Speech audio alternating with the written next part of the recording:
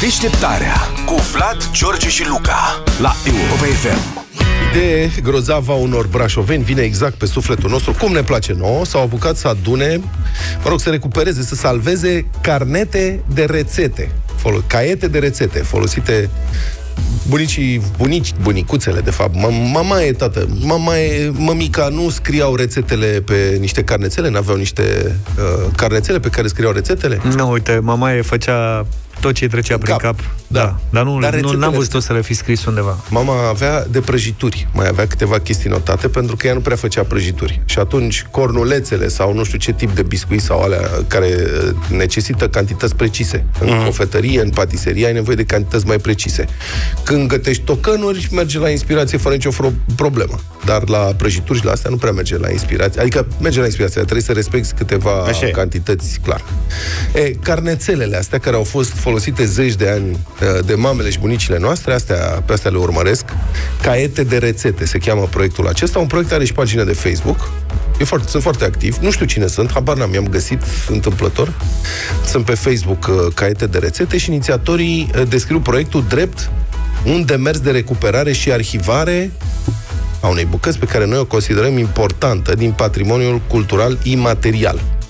Uh-huh. Scrie și G4 Media despre ei. Ei fotocopiază rețetele pe care le primesc și după aceea le transcriu, le urcă pe uh, un site. Planul e să obțină la final un rețetar al caietelor de rețete, scrise de mână de uh, mămici și bunici. Și au și o adresă de mail, să știți, dacă vreți să le trimiteți. Uh, fotografii fotocopiate. Adunăm. Adunăm, mă rog, adunăm, arond sau coadă de maimuță, caiete de rețete.ro declară unul dintre membrii echipei, Andrei Duda. Deci, în principiu, proiectul ar trebui să mai dureze luna asta. O să face o expoziție, dar vedem, poate mai durează. Deci, dacă aveți cumva așa ceva acasă... Uite, eu pe Luca îl văd interesat de un proiect de genul ăsta. Să știi, eu cred că sunt Asta nu rezistă la prăjituri. O să iasă ceva foarte interesant din toată afacerea asta. Bunica avea, într-adevăr. Păi și unde sunt? Un caiet din asta, nu, nu-l mai am. Uh-huh. Mama e lucra după Silvia Jurcovanu și la inspirație.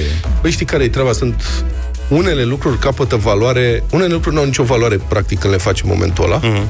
și capătă valoare peste 10 ani, 20 de ani, 10 de ani. În timp. În cazul fotografiilor. Dar eu am carnetelul Foto- meu. Fotografia, de exemplu, când faci o fotografie, îmi faci o fotografie pe stradă. Uh-huh. Nu are nicio valoare. Peste 10, 20, 30 de ani oamenii și se uită spun, uite mă, cum arăta locul ăsta, ce tare.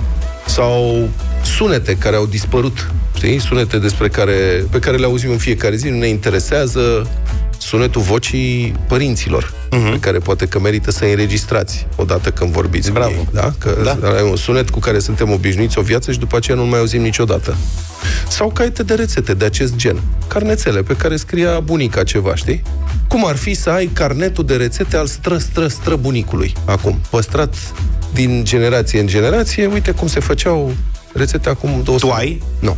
Eu am carnet de rețete, am vreo 20 de rețete și am, de exemplu, dintre primele rețete de pad thai, care sunt noodles tailandezi, mă, și care mi s-a părut ceva absolut fabulos și exotic și la vreme scrisă de cine? Scrisă de mine. E carnetul lui, n-ai înțeles? tău. Da, mă, da. A, eu am, am, dar sunt toate pe calculator la mine. Făcea noodle și bunica sa? Da, păi asta mă gândeam, știi? Eu zic, cum ar fi să fie al stră stră bunicului? Ai? Nu, eu am, pad thai. Da, al lui.